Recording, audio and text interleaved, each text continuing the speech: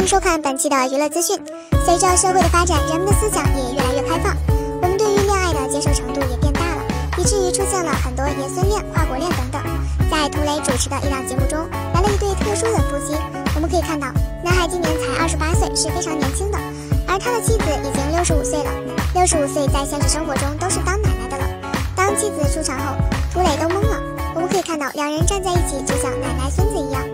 但是两人还是没有任何的顾虑在一起了。通过了解，我们得知两人因机缘巧合认识，在之后的相处中，慢慢的产生感情。男人想要和女人在一起，但是女人因为自己的年纪是很大的，所以一直都没有同意。但是男孩一直很坚持，在男孩各种追求和坚持下，女人接受了男孩。对此，小伙伴们怎么看待这件事呢？感谢观看，本视频素材来源于网络，由卓别你的笑剪辑配音制作完成。想看更多视频，请关注我们。